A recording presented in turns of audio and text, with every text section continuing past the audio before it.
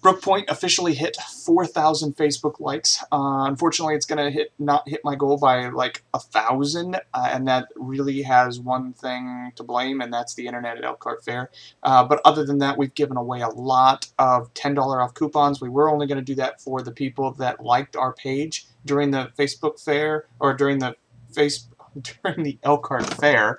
Anyway, so we were only going to do that $10 off for just that, but we decided to uh, just start giving those away to pretty much anybody that showed interest in the uh, uh, Couples Romance Getaway uh, period. Uh, just because the, the, we can get more people interested and get them in the door at Brook Pointe, then it's a win-win. So anyway, that's uh, that's realistically um, where we are. The internet was so slow that when you clicked on like, it would take uh, between a minute and two minutes. They'd have to stay at that page before it actually registered back to Facebook that it actually liked it even though it showed like on their page. And that was really, really, really frustrating, to say the least, because uh, we probably had, I don't know, 500, 600 people or so that actually liked our Facebook page.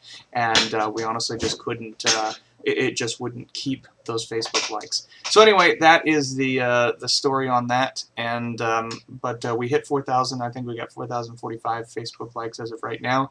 And uh, we continue to increase that as well. But we definitely will not hit the 5,000 mark this year.